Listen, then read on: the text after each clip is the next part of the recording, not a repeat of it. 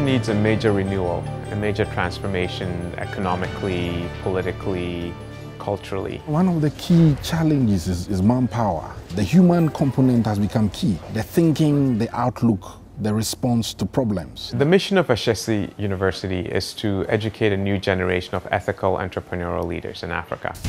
Ashesi University opened its doors in a rented building in Accra with a pioneering class of just 30 students. It took a bit of naivete, it took a lot of courage, it took a lot of determination. And 10 years later, here is the dream fulfilled a beautiful new campus in the hills of Berekuso, northeast of Accra, where international faculty, state-of-the-art computer laboratories and exceptional facilities, including on-site hostels, combine to provide the best educational environment possible in Ghana today. What inspires me is the whole community, the whole vibe, the lectures, the opportunities, the internships, the advice, the talks, the content of the institution, what it stands for. You're, you're being challenged all the time to think. Students from across Africa come to Ashesi to pursue bachelor degrees in computer science, business administration, and management information systems, curricula developed in association with three of America's leading universities, Swarthmore College, the University of Washington, and the University of California, Berkeley. And at its core, the liberal arts, an approach making Ashesi University unique in all of Africa. The liberal arts is about educating the whole mind and giving people multiple perspectives. Focusing on the student and their development, the way they think, the way they think about problems, how they solve problems. So you are given a whole range of tools, including the major that you are focusing on. That is the kind of human being we want as Africa goes forward. It's a practical hands-on approach based on interactive teaching, on discussion, research and inquiry encouraging students to explore, discover, and communicate. Communication is not just about talking or writing, it's also about listening and understanding. What makes you think they're rhetorical? We engage them as fully as possible. They are forced to speak up, learn how to, you know, um, engage with other people. You are actually supposed to have an opinion. You're encouraged to share your thoughts. I'd like to add that whoever writing this has this ambitious I know there's someone looking down on earth. Probably there's a kin.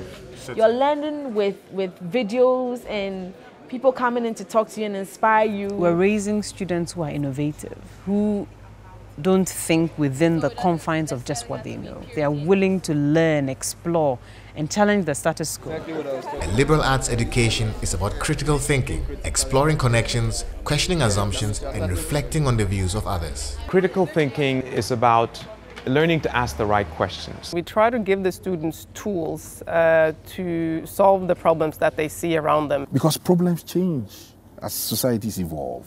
You need to have people with the capacity to read these changes and to respond to them.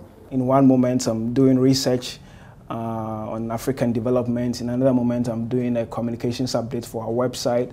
You know, in another moment, I'm doing a, something that relates to administration. But you should be able to, you know, meet each challenge that comes with some confidence and some poise that you can handle it. And I think that's what the Ashesi education gives you. Charles Dolly graduated from Ashesi in 2006. Today, he's executive assistant at the African Center for Economic Transformation in Accra. So I have colleagues here uh, who've studied at some of the best universities in the world, in America, in Europe, uh, across Asia. And in my work, in my interactions with them, I don't see myself as lacking in any way. And that holistic view of education that I got from Ashesi has given me that ability to interact with some of the best in the world. We're trying to switch people's minds on. We're trying to give them broad perspectives. Okay and most importantly of all, a sense of responsibility built on the three pillars of scholarship, leadership, and citizenship. We need ethical leaders. We need people who are compassionate, who work with integrity, who work with dedication and discipline and focus. It's a way of life. It's about integrity, living your life with integrity. I think I have been able to develop that stage, that, that, that, that confidence, to be able to sit an, in an examination without an invigilator and keep my head glued on my paper. Or raise my head up and see somebody cheating and have the courage to report to the president. Because in the long run, they'll go out there, they become presidents, corporate bosses. They have power. What do you do with that power if you don't have a moral compass? So our task here in Ashesi through the leadership seminar series that we have from year one to the final year is to ensure that by the time our students finish, they understand the importance of leadership. Nothing comes easy, especially ethics.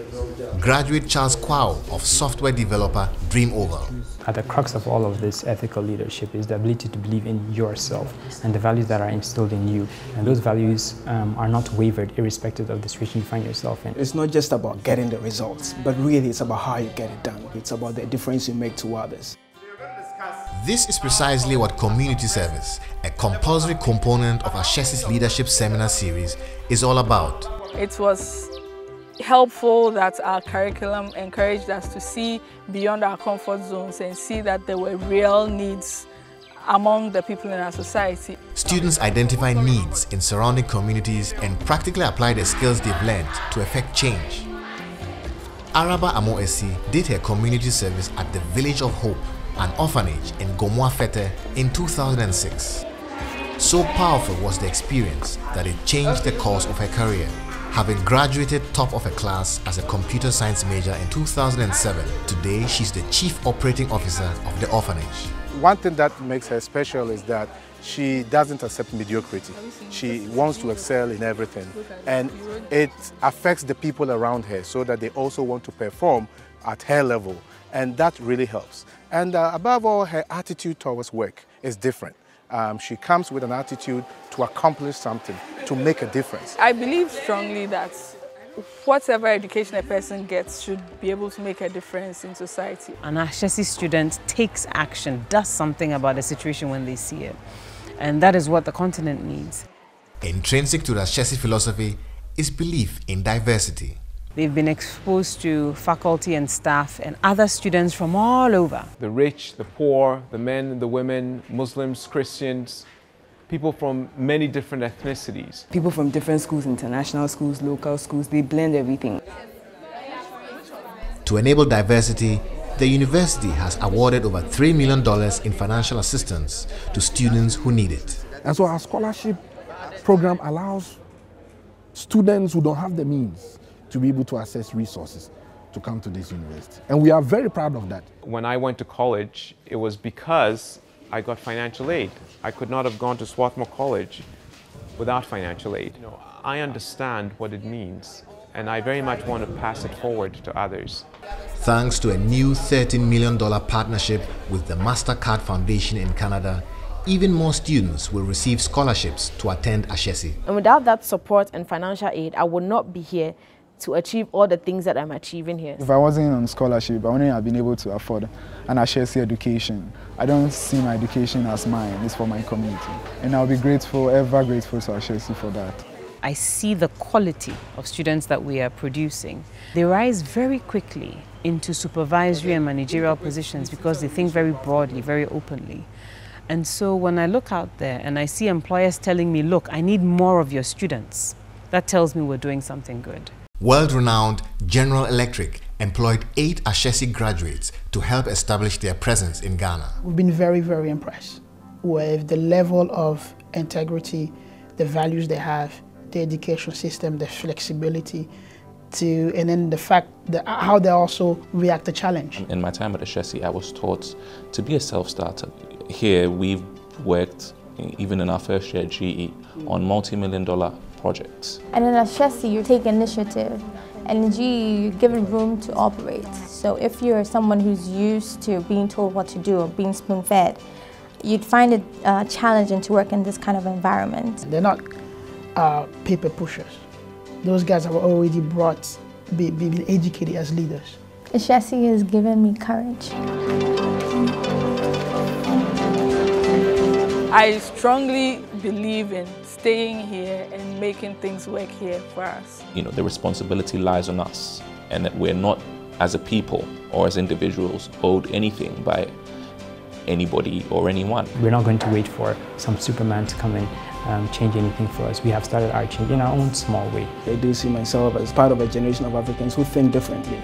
Uh, who are not daunted by the task of rebuilding Africa. Ours is to prove the skeptics wrong. But we believe that with commitment, with vision, or with a spirit of togetherness, we can begin to create a new Africa.